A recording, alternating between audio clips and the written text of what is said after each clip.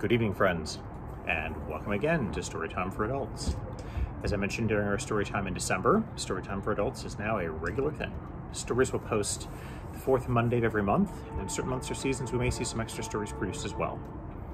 So it is March, and among many other things, that means that St. Patrick's Day is this month, and that, of course, gives us a perfect excuse to read some stories by famous Irish authors.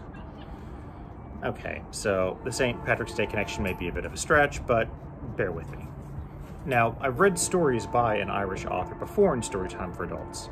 Uh, last summer, we read a couple of stories by Lord Dunsany, who was a massively popular Irish author, an actual literal lord. And of course, the famous, and in his own life infamous, Oscar Wilde was also Irish. But today we'll be reading some stories by an author who started life a bit farther down the socioeconomic ladder from Lord Dunsany but whose name today has far vaster recognition, and frankly, rightly so. A poet, teacher, literary critic, writer, and major figure in the modernist avant garde, who gave us stream of consciousness writing, James Joyce was unarguably one of the single greatest and most influential writers of the 20th century in any language. His major opus, Ulysses, is actually responsible for laying the foundations of modern obscenity law in the United States, when the United States government decided to sue the book. So who was he? James Augustine Aloysius Joyce was born in Dublin, Ireland on February 2nd, 1882, into an Irish Catholic middle-class family. Joyce was the oldest of 12 children, 10 who would survive to adulthood. Though Joyce's family was solidly middle class at his birth, as more and more of his siblings were born, the strains on the family's finances became greater and greater. Joyce's father eventually began drinking more and more with predictable results for the family and all the instability and turmoil that that implies. From a very young age, Joyce stood out as particularly bright and was educated by Jesuit priests at Clongowes Woods College, Belvedere College, and ultimately University College Dublin. He first began writing as a poet and attracted the attention of no less a poetic luminary than William Butler Yeats, who encouraged Joyce to apply his prodigious talent to discovering new modes and methods of writing. Now, we could fairly say, with the benefit of hindsight, that this may rank as one of the all-time great and underappreciated at the time pieces of advice. On June 16, 1904, James Joyce would meet Nora Barnacle, his future wife, and within six months he'd convinced her to come with him into exile on the European continent. They eventually settled in Trieste in modern-day northern Italy, when Nora gave birth to their two children, Giorgio and Lucia.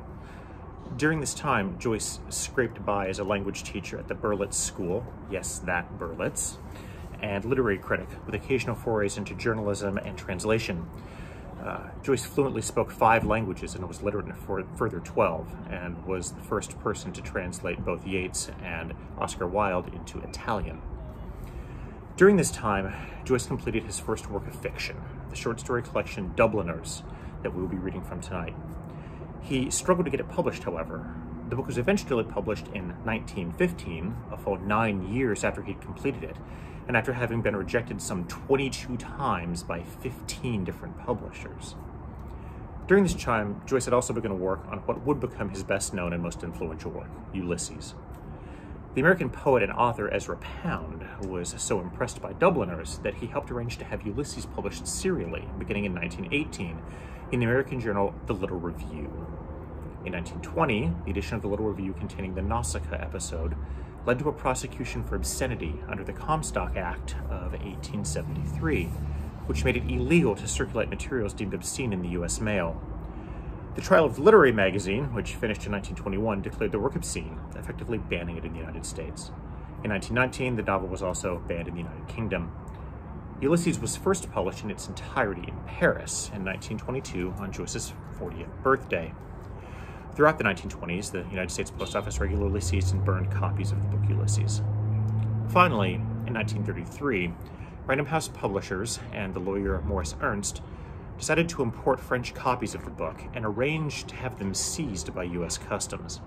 Random House then contested the seizure, leading to the court case, the United States versus one book called Ulysses. In the trial decision, the judge in the case, John M. Woolsey, ruled that Ulysses was not pornographic and thus could not be obscene. The judicial opinion itself is even today considered a thorough and academically serious literary deconstruction of the work, in which the judge himself remarks on the startling success of Joyce's stream of consciousness style, as well as noting the overall context of the events and content of the book. After the decision was announced, Random House began typesetting, and the first copies of Ulysses were published in the United States in 1934, 12 years after its original publication in Ireland. The initial ruling was appealed by the government, but ultimately upheld by the Second Circuit Court of Appeals. Together, the trial and appellate decisions established that a court applying obscenity standards should consider the work as a whole, not just selected excerpts, the effects on an average rather than overly sensitive person, and contemporary community standards. These principles filtered through a long line of later cases and ultimately influenced by the U.S. Supreme Court case, or Supreme Court, has influenced the United States case law on obscenity standards that hold through this day. Now, Ulysses itself is an amazingly complicated and very difficult book. The novel follows the actions of Leopold Bloom, an average man in an average day in his life in Dublin. The book is written, however, so that its 18 chapters all parallel and mirror the equivalent chapters in Homer's epic poem, The Odyssey. Ulysses, the name, is the Latin translation of Odysseus and literally means to travel. The book is chock full of references to everything from classical mythology to medieval history, biblical narrative, Anglo-Saxon poetry, and Dante's Divine Comedy. Each chapter in the book is also written in a different and distinct historical literary style, culminating in the final chapter being written stream of consciousness from the perspective of Leopold's wife, Molly Bloom. The book is also set on a very particular day, June 16th, 1904, the same day that Joyce met his wife, Nora.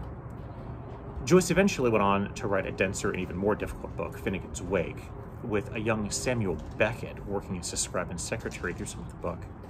Joyce spent his life after moving to the European continent uh, with Nora, moving primarily between three cities, Trieste, Paris, and Zurich, where he ultimately died in 1941 after undergoing surgery for a perforated ulcer. He was friends with almost all the great and well-known literary minds of his day, including Ernest Hemingway, who famously said that they would go drinking together in Paris. Joyce would have too much to drink and start fights that Hemingway had to finish. One of Joyce's major themes and concerns was to write about ordinary people, assuming the dictum that everyone is the hero of their own story, and that the internal lives of common everyday people are no less rich than that of the epic hero.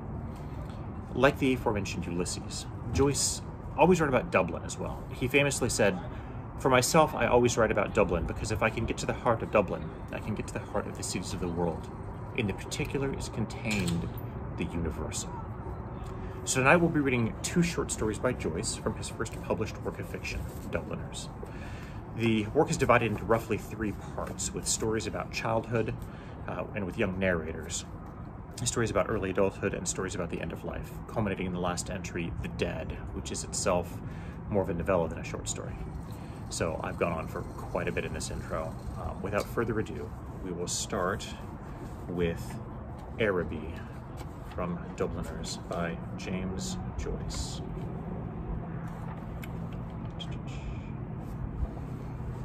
Araby. North Richmond Street, being blind, was a quiet street, except the hour when the Christian Brothers School set the boys free. An uninhabited house of two stories stood at the blind end, detached from its neighbors in a square ground. The other houses of the street, conscious of decent lives within them, gazed at one another with brown, imperturbable faces. The former tenant of our house, a priest, had died in the back drawing room. Air, musty from having been long enclosed, hung in all the rooms, and the waste room behind the kitchen was littered with old useless papers. Among these, I found a few paper-covered books, the pages of which were curled and damp. The Abbot by Walter Scott, The Devout Communicant, and The Memoirs of Vidocq. I liked the last best because its leaves were yellow. The wild garden behind the house contained a central apple tree and a few straggling bushes, under one of which I found the late tenant's rusty bicycle pump. He'd been a very charitable priest. In his will, he'd left all his money to institutions and the furniture of his house to his sister. When the short days of winter came, dusk fell before we had well eaten our dinners. When we met in the street, the houses had grown somber. The space of sky above us was the color of ever-changing violet, and towards it the lamps of the street lifted their feeble lanterns. The cold air stung us, and we played till our bodies glowed. Our shouts echoed in the silent street. The career of our play brought us through the dark, muddy lanes, behind the houses where we ran the gauntlet of the rough tribes from the cottages, to the back doors of the dark, dripping gardens where odors arose from the ash pits, to the dark, odorous stables where a coachman smoothed and combed the horse or shook music from the buckled harness. When we returned to the street light from the kitchen windows had filled the areas. If my uncle was seen turning the corner, we hid in the shadows until we'd seen him safely housed. Or if Mangan's sister came out on the doorstep to call her brother in to his tea, we watched her from our shadow peer up and down the street. We waited to see whether she would remain or go in, and if she remained, we left our shadow and walked up to Mangan's steps resignedly. She was waiting for us, her figure defined by the light from the half-open door. Her brother always teased her before he obeyed, and I stood by the railings looking at her. Her dress swung as she moved her body, and the soft rope of her hair tossed from side to side. Every morning I lay on the floor in the front parlor watching her door. The blind was pulled down to within an inch of the sash so that I could not be seen. When she came out on the doorstep, my heart leaped. I ran to the hall, seized my books, and followed her. I kept her brown figure always in my eye, and when we came near the point at which our ways diverged, I quickened my pace and passed her. This happened morning after morning. I'd never spoken to her, except for a few casual words, and yet her name was like a summons to all my foolish blood. Her image accompanied me even in places the most hostile to romance. On Saturday evenings, when my aunt went marketing, I had to go to carry some of the parcels. She walked through the flaring streets, jostled by drunken men and bargaining women.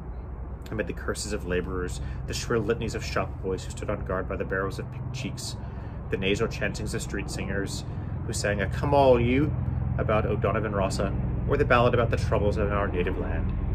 These noises converged in a single sensation of life for me, I imagined that I bore my chalice safely through a throng of foes.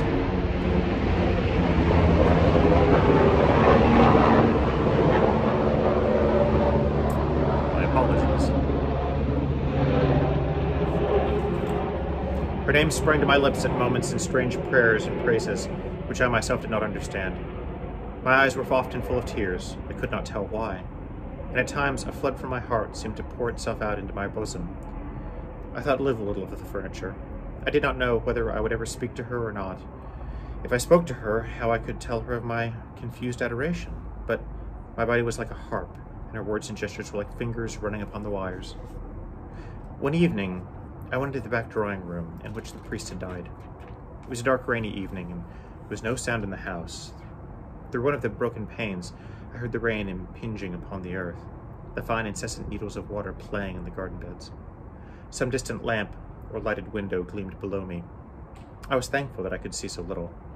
All my senses seemed to desire to veil themselves, and feeling that I was about to slip from them, I pressed the palms of my hands together until they trembled, murmuring, Oh, love, oh, love, many times. At last she spoke to me. When she addressed the first words to me, I was so confused that I did not know what to answer. She asked me if I was going to Araby. I forgot whether I answered yes or no. It would be a splendid bazaar, she said. She would love to go. And why can't you? I asked. While she spoke, she turned a silver bracelet round and round her wrist. She could not go, she said, because there would be a retreat that week in her convent. Her brother and two other boys were fighting with their caps, and I was alone at the railing. She held one of the spikes, bowing her head towards me. The light from the lamp opposite our door caught the white curve of her neck, lit up her hair, and rested there, and falling, lit up the hand upon the railing. It fell over one side of her dress and cut the white border of her petticoat, just visible as she stood at ease. It's well for you, she said. If I go, I said, I will bring you something. What innumerable follies laid waste my waking and sleeping thoughts after that evening. I wished to annihilate the tedious intervening days. I chafed against the work of school, at night in my bedroom and by day in the classroom, her image came between me and the page I strove to read. The syllables of the word Araby were called to me through the silence in which my soul luxuriated and cast an eastern enchantment over me. I asked for leave to go to the bazaar on Saturday night. My aunt was surprised and hoped it was not some Freemason affair. I answered a few questions in class. I watched my master's face pass from amiability to sternness. He hoped I was not beginning to idle I could not call my wandering thoughts together. I'd hardly any patience with the serious work of life, which, now that it stood between me and my desire, seemed to me child's play. Ugly, monotonous child's play. On Saturday morning, I reminded my uncle that I wished to go to the bazaar in the evening. He was fussing at the hall stand, looking for the hat brush, and answered me curtly, Yes, boy, I know. As he was in the hall, I could not go into the front parlor and light the window. I left the house in bad humor and walked slowly towards the school. The air was pitilessly raw, and already my heart misgave me. When I came home to dinner, my uncle had not yet been home. Still, it was early. I sat staring at the clock for some time, and when its ticking began to irritate me, I left the room. I mounted the staircase and gained the upper part of the house. The high, cold, empty, gloomy rooms liberated me, and I went from room to room singing. From the front window, I saw my companions playing below in the street. Their cries reached me weakened and indistinct, and leaning my forehead against the cool glass, I looked over at the dark house where she lived. I may have stood there for an hour, seeing nothing but the brown-clad figure cast by my imagination, touched discreetly by the lamplight with the curved neck, the hand upon the railings, and at the border below the dress. When I came downstairs again, I found Mrs. Mercer sitting at the fire. She was an old garrulous woman, a pawnbroker's widow who collected used stamps for some pious purpose. I had to endure the gossip of the tea table. The meal was prolonged beyond an hour, and still my uncle did not come. Mrs. Mercer stood up to go. She was sorry she couldn't wait any longer, but it was after eight o'clock, and she did not like to be out late, as the night air was bad for her. When she'd gone, I began to walk up and down the room, clenching my fists. My aunt said, I'm afraid you may put off your bazaar for this night, our of, of our Lord. At nine o'clock, I heard my uncle's latch key in the hall door. I heard him talking to himself and heard the hall stand rocking when it had received the weight of his overcoat. I could interpret these signs. When he was midway through his dinner, I asked him to give me the money to go to the bazaar. He had forgotten. The people are in bed and after their first sleep now, he said. I did not smile. My aunt said to him energetically, Can't you give him the money and let him go? You've kept him late enough as it is. My uncle said that he was very sorry he'd forgotten. He said he believed in the old saying, All work and no play makes Jack a dull boy. He asked me where I was going, and when I told him a second time, he asked me did I know the Arab's farewell to his steed. When I left the kitchen, he was about to recite the opening lines of the piece to my aunt. I held a florin tightly in my hand as I strode down Buckingham Street towards the station. The side of the streets thronged with buyers and glaring with gas recalled to me the purpose of my journey. I took my seat in a third-class carriage of a deserted train. After an intolerable delay, the train moved out of the station slowly. It crept onwards among ruinous houses and over the twinkling river. At Westland Row Station, a crowd of people pressed to the carriage doors, but the porters moved them back, saying that it was a special train for the bazaar. I remained alone in the bare carriage. In a few minutes, the train drew up beside an improvised wooden platform. I passed out on the road and saw by the lighted dial of a clock that it was ten minutes to ten.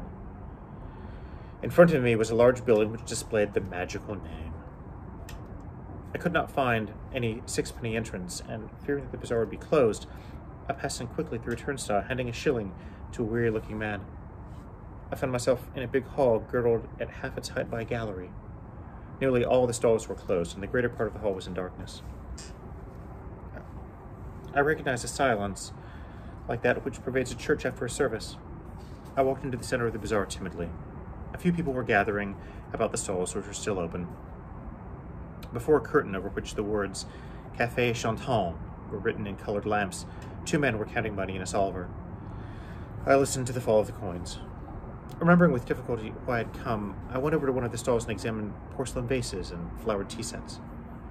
At the door of the stall, a young lady was talking and laughing with two young gentlemen. I remarked their English accents and listened vaguely to their conversations. Oh, I never said such a thing. Oh, but you did. Oh, but I didn't.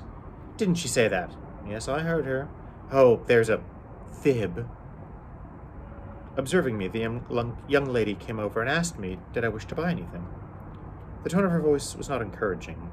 She seemed to have spoken to me out of a sense of duty. I looked humbly at the great jars that stood like eastern guards at either side of the dark entrance to the stall and murmured, No, thank you. The young lady changed the position of one of the vases and went back to the two young men. They began to talk of the same subject. Once or twice the young lady glanced at me over her shoulder. I lingered before her stall, though I knew my stay was useless, to make my interest in her wares seem more real. When I turned away slowly and walked down the middle of the bazaar, I allowed the two pennies to fall against the sixpence in my pocket. I heard a voice call from one end of the gallery that the light was out. The upper part of the hall was now completely dark. Gazing up into the darkness, I saw myself as a creature driven and derided by vanity, and my eyes burned with anguish and anger.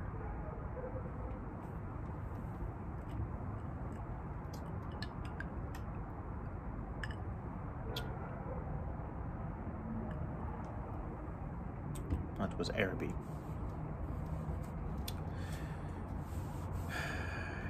Next to her read, Eveline. She sat at the window, watching the evening invade the avenue. Her head was leaning against the window curtains, and in her nostrils was the odor of dusty cretonne. She was tired. A few people passed. The man out of the last house passed on his way home. She heard his footsteps clacking along the concrete pavement, and afterwards crunching on the cinder path before the new red houses. One time, there used to be a field there in which they used to play every evening with other people's children. Then a man from Belfast bought the field and built houses in it. Not like the little brown houses with bright, but bright brick houses with shining roofs. The children of the avenue used to play together in that field. The Devons, the Waters, the Dunns, little Keogh the cripple, she and her brothers and sisters. Ernest, however, never played. He was too grown up. Her father often used to hunt them in out of the field with his blackthorn stick, but usually little Keogh used to keep nix and call out when he saw her father coming. Still, they seemed to have been rather happy then. Her father was not so bad then, and besides, her mother was alive. It was a long time ago. She and her brothers and sisters were all grown up. Her mother was dead, Tizzy Dunn was dead too, and the Waters had gone back to England. Everything changes. Now she was going to go away like the others, to leave her home. Home.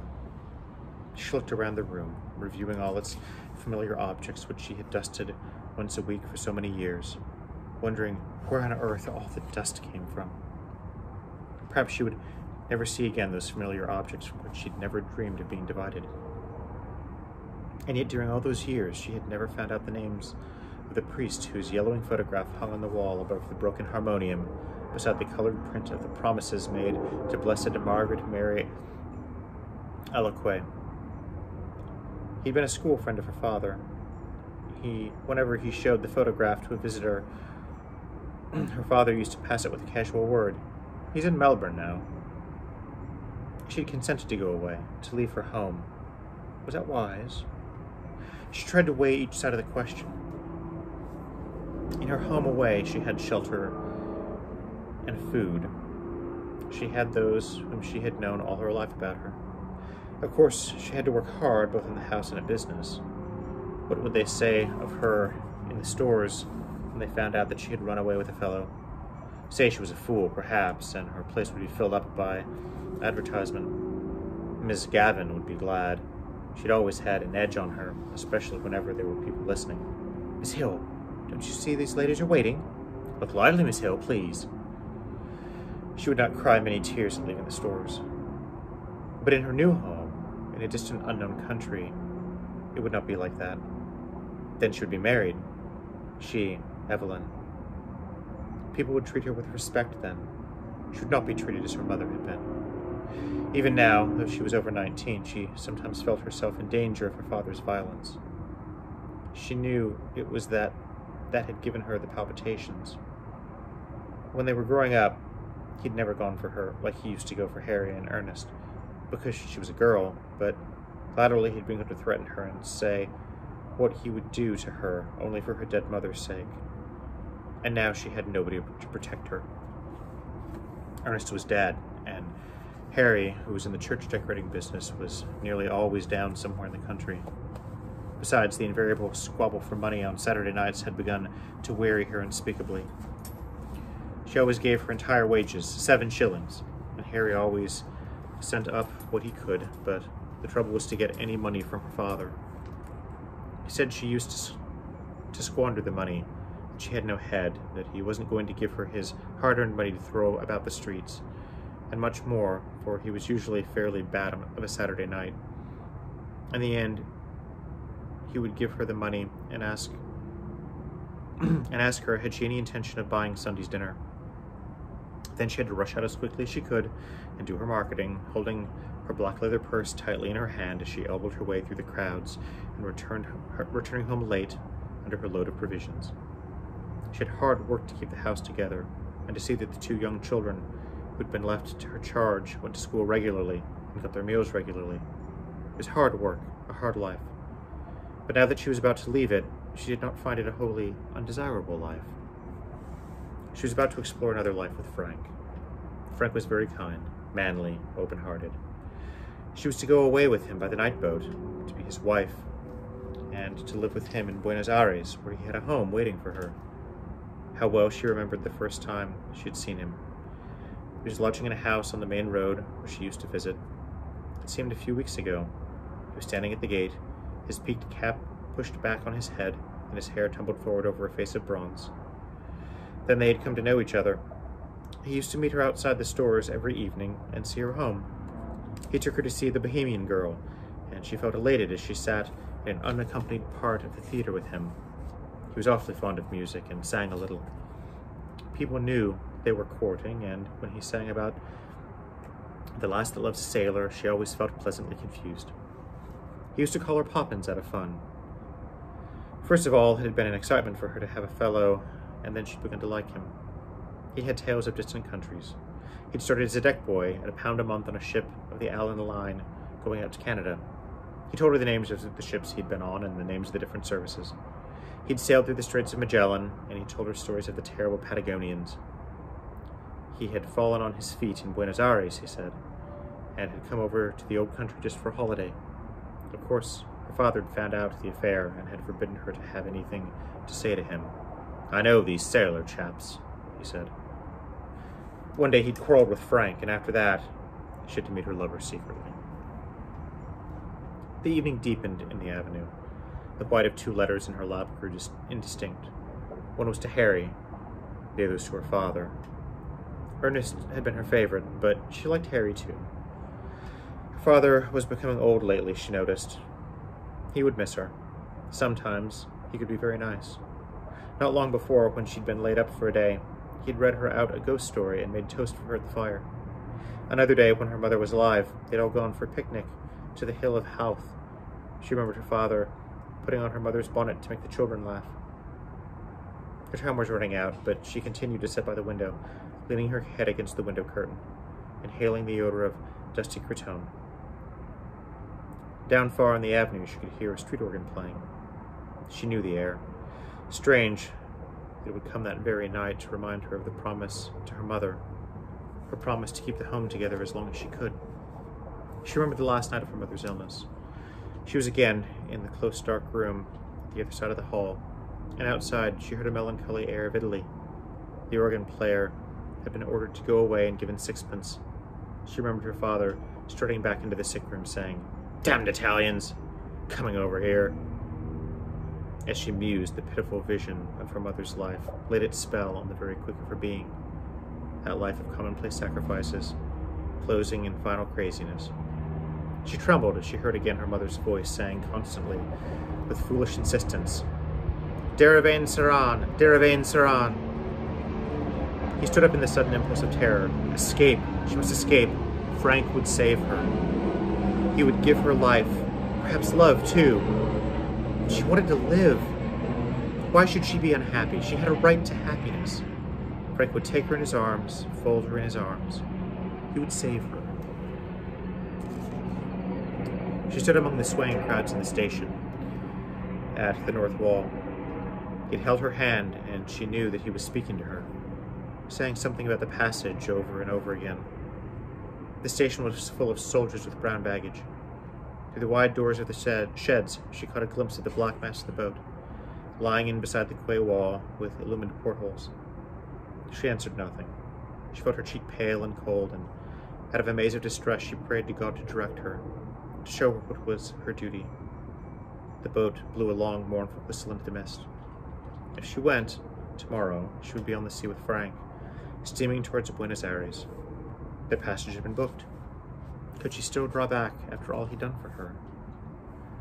Her distress awoke a nausea in her body, and she kept moving her lips in silent, fervent prayer. A bell clanged upon her heart. She felt him seize her hand. Come! All the seas of the world tumbled about her heart. He was drawing her into them. He would drown her. She gripped with both hands at the iron railing. Come! No, no, no! It was impossible. Her hands clutched the iron in frenzy. Amid the seas, she sent a cry of anguish. Eveline! Evvy! He rushed beyond the barrier and called to her to follow. He was shouting at, at to go on, but he still called to her.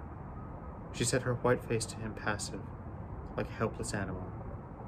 Her eyes gave him no sign of love, or farewell, or recognition. It was Eveline from Dubliners by James Joyce. And if you've made it this far, you have got to the end of our stories. So uh, I'll give you a, a little bonus. Um, I'd mentioned earlier um, in our opening, I'd mentioned that uh, James Joyce actually started as a poet first, and that he was kind of discovered by W.B. Yeats, who had encouraged him to take up other modes of writing as well as poetry. And with that in mind, uh, I thought I would read you a poem by Yeats, since he's rather famous and also Irish. So I'm going to read you a short poem by him. Aedh Wishes for the Cloths of Heaven. It was published in 1899. Had I the heavens embroidered cloths, and wrought with gold and silver light, the blue and the dim and the dark cloths of night and light and the half light, I would spread the cloths under your feet. But I, being poor, have only my dreams. I have spread my dreams under your feet. Tread softly, because you tread on my dreams. I hope you all have enjoyed our stories this evening, and thank you very much for tuning in. Have a wonderful evening.